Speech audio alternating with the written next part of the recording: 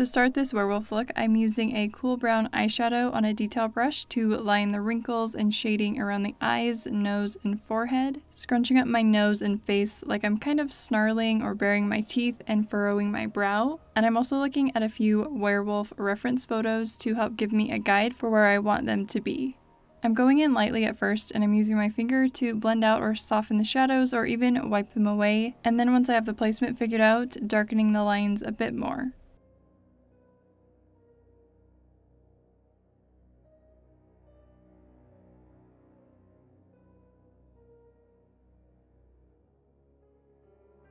I was kind of all over the place with this one, struggling with what I really wanted to do, but next I'm using a flat shader brush to pack that color onto the lids and under the eyes to start darkening and sinking the eye area in, and I'm also softly blending it into the wrinkle lines.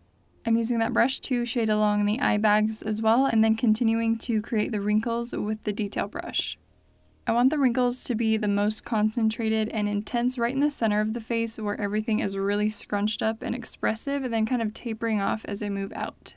Just darkening around the inner eye area a bit more here and above the brow bone using a clean fluffy brush to buff that out to lighten and then blend down between the brows as well. I'm adding a few light crow's feet wrinkles to the outer area of the eyes. Then still using the same eyeshadow, I'm then contouring the face, starting with the temples and around the forehead, really blending that back into the hairline, then redefining those wrinkles above the brows. I'm also taking that down onto the center of the forehead, creating a soft widow's peak shape, again blending back into the hairline to darken.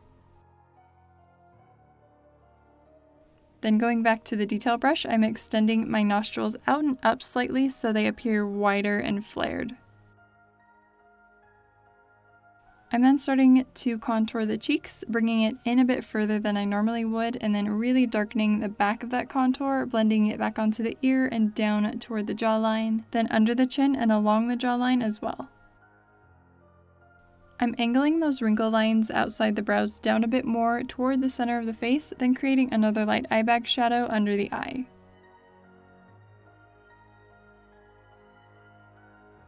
And you can just ignore these lines here, I ended up blending them out later, but I did then shade more in this area between the brows.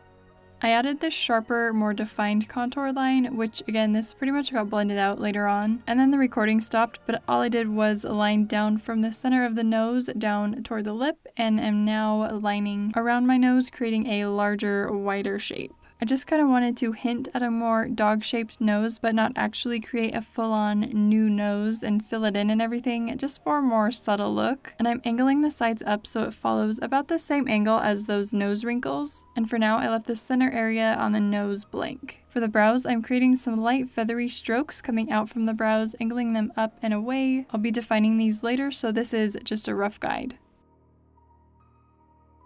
Then I added a third wrinkle above the outside of the brows, again taking it down toward the center of the face. I'm starting to shade under those sharper contour lines I created, still with that cool brown eyeshadow on the flat shader brush. Then I shaded in a few lines and wrinkles around the mouth area as if the mouth were really stretching out, switching to the detail brush to define those lines more. I ended up blending these ones away but then redoing them later because I was just kind of unsure about them, but in the end I did like they added a little something more to this lower area of the face. I'm then adding in a couple more wrinkles to the nose and fading out the ends of the others. Then contouring a bit along the outsides and center of the neck and shading under the nose and lower lip as well and then more shading along and under the cheek contour, switching to the larger contour brush to blend that down onto the cheeks more. I decided to block out the color of my lips, so I'm applying my concealer over them and just blending that out onto the face and then powdering to set it in place. Then I wanted to add some irritation and redness around the eyes, so I'm using an orangey red eyeliner to line my lower waterline, and I'm using my finger to smudge that out along the lash line. Then going over that with a little bit of a lighter, kind of corally peach eyeshadow to tone it down just a smidge, and I'm blending that along the lash line and the mobile lid. Then tightlining my eyes with that red, and again I'm smudging that up onto the lash line, topping it off with that lighter eyeshadow. I'm applying a bit of that combo to the center of the lips, again using my finger to smudge it out and then applying the lighter shade over top. And I got this a little darker than I wanted it, so I'm using my brush with the concealer on it to fade that out even more. Then I'm using a black eyeshadow to darken mainly the inner portion of the lid and eye area, taking it about up to the crease. And then I want a bit of a sharper edge where it's the darkest and deepest at the center, but I am lightly blending that into the wrinkles as well. I'm also using the black on the detail brush now to darken the wrinkle and crease lines, again fading out toward the ends of the lines, keeping the deepest part of the shadow in the center or inner part of each line.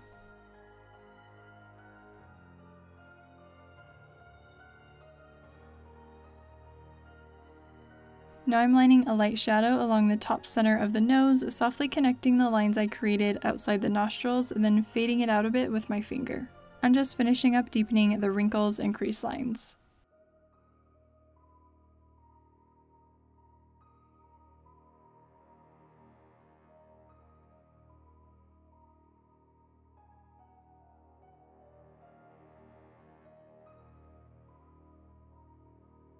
I'm darkening the nostrils with the black as well. Then here I'm just adding those lines in around the mouth again. Still not sure how I feel about them, and actually I kind of felt like ET at this point, but that's okay.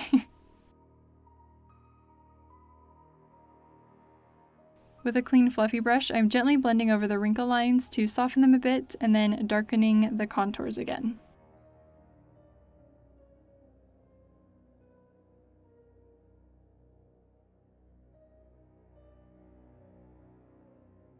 Then with a brown liquid liner with a super fine brush, I'm going over the brows, again very lightly feathering it up and out from the brows, creating very thin hair-like strokes by kind of flicking and lifting that liner up off the skin as I move out, and I'm filling in any gaps in my natural brow hairs as well. I'm creating the longest hairs just below those creases above the outside of the brows and tapering them off toward the tail. Then to kind of help take my natural brows more up in that direction, I'm brushing them up with a clear brow gel.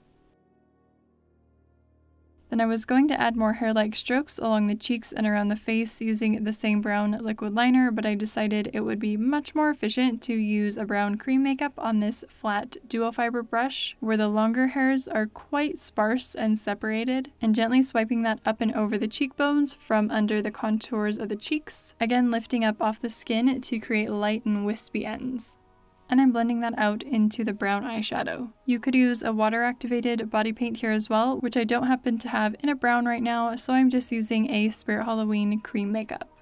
I'm applying this around the forehead and down onto that widow's peak, switching to the small detail brush so I can taper that off into the point better.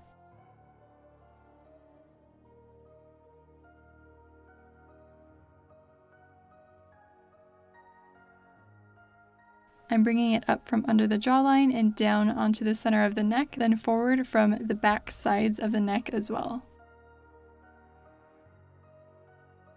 Once I have all those hair strokes down, I'm going back in with my contour shade, as well as a warmer brown that better matches that cream makeup, and both darkening and blending that contour into the cream. This particular cream makeup does dry down, but if you use like a Makeup Forever Flash Color or Ben Nye Cream Color or something similar, you'll need to set those with a powder before blending over them. I'm very lightly blending over the entire face and ears to darken and blend just a tiny bit, and then on the neck I'm taking the makeup all the way down onto my shoulders so it goes all the way underneath the neck of my shirt. And then that's it! The lenses, as always, are from Samhain Contact Lenses, and the fangs from Kaos Kustom Fangs, which I will have linked down below. I really hope you enjoyed this more simple look, even though I struggled with it a little bit. I hope it can help some of you guys if you've been wanting to do a werewolf look. As always, thank you so much for watching, and I will see you in the next one.